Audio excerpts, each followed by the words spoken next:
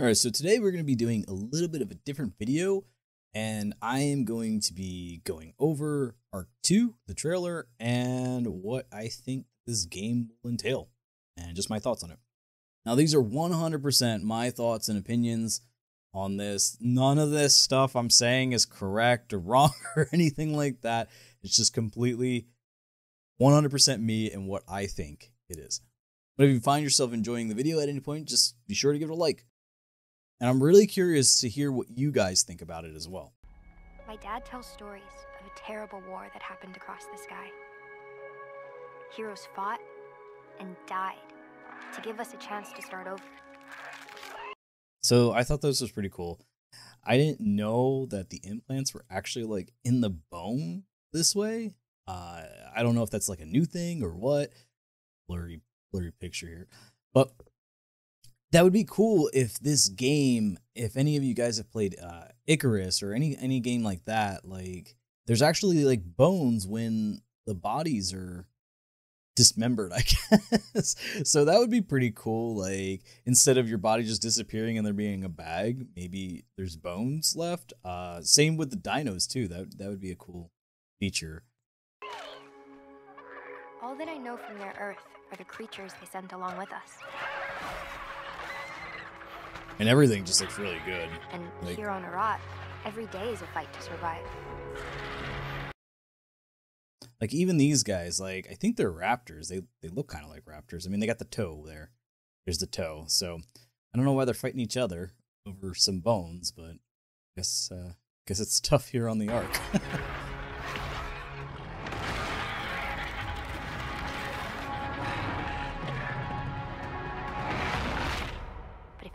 can tame this new world, we can.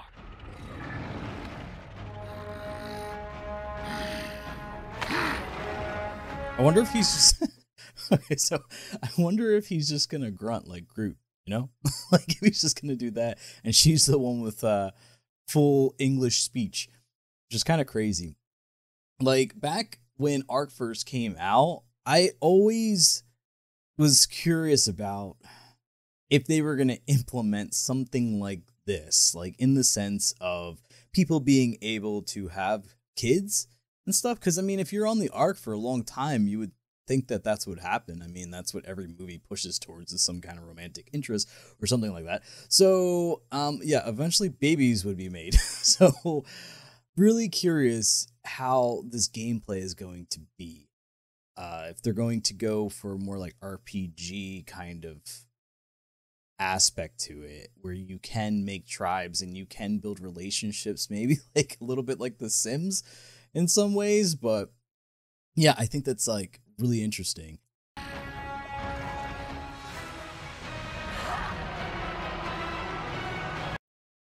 And this guy just looks cool. I love I love this so much. Like I love how it looks like he just like customized his own dino.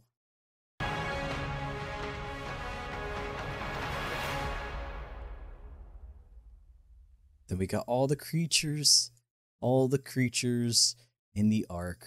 Oh, is that Triceratops? Triceratops. That's cool. If you're gonna be able to like customize like saddles and stuff, that that could be really really cool. Okay, so let's take a look at some of these screenshots. So I think all these screenshots are from the trailer here, but yeah, all these are from the trailer. Yeah, so I'm curious if they're gonna have an actual like, I guess set thing that you could stick on or if you can customize all the little bits and pieces on your dinos. Um, and even like his outfit and stuff. Like I think I think this is cool. Like this little like fur skirt.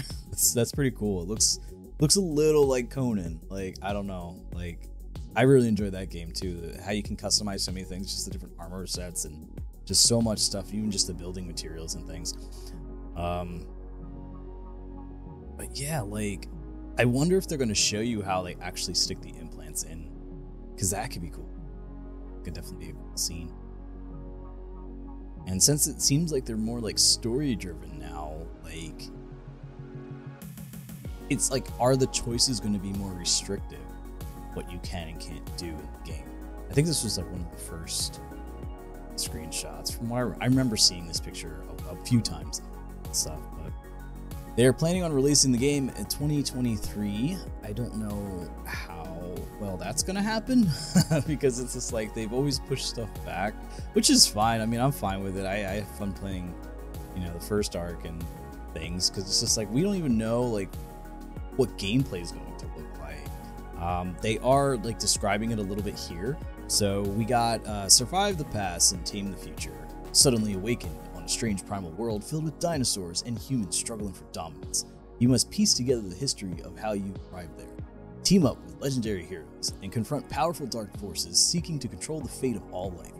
Saddle up and join the definite next generation survival experience with Ark 2.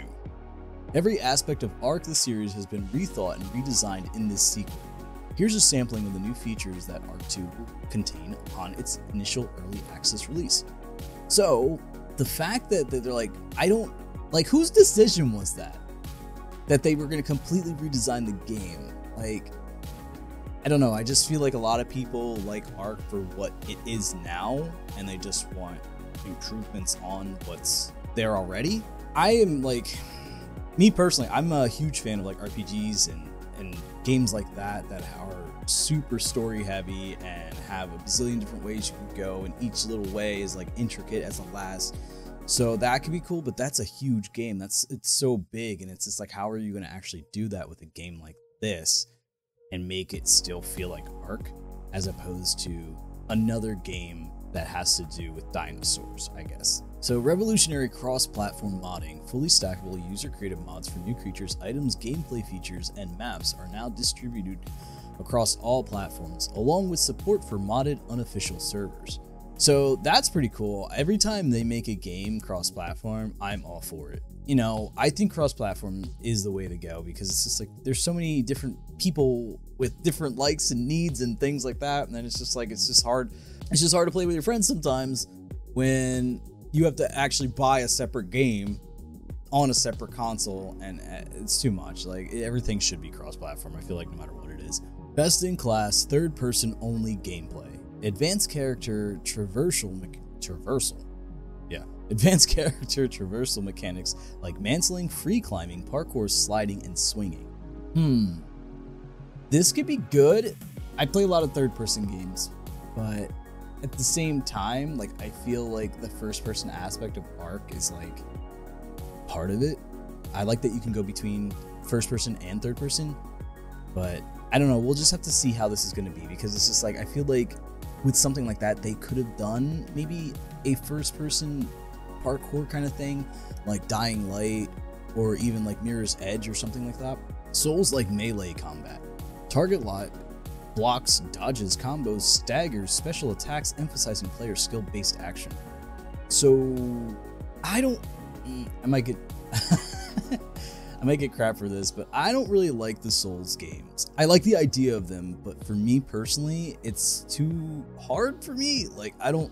I don't know. And it's funny because I play Ark, and a lot of people are like, oh, Ark is so hard, and they can't even get past getting a dodo. To me, like, I don't know. It's just maybe it's just because I built up over the years and stuff. Like, to me, it's not as difficult as Dark Souls. Like, Dark Souls, I don't like trying to play a game on perfect. Like, it's saying Souls like combat, but I'm curious if it could be more along the lines of like something like Assassin's Creed, where it's like you do have to still do all the same stuff, but there is like a little bit of freedom, I feel like, uh, where you have target locks, blocks, dodges. You have to do all that stuff, but it makes more sense and I feel like it flows a little bit better.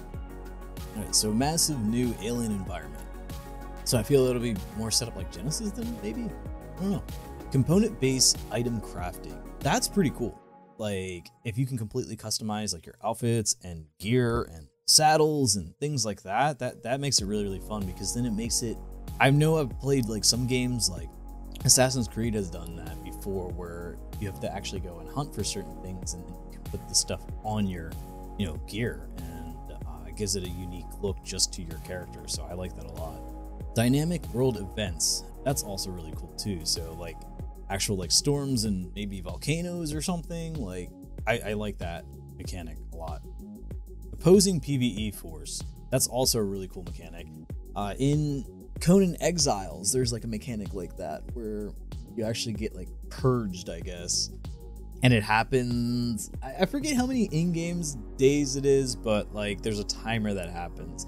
And when that goes, then everything will attack you. And it's pretty cool because then it makes you actually fortify your base correctly and uh, defend it. So I also like that as well. Well, I used to play PvP a lot, but there's a lot of trolls and a lot of people who have just too much time. Guess it's just like it gets to be a bit much. So it's like I like the chaoticness of it, and I also like that it's not predictable.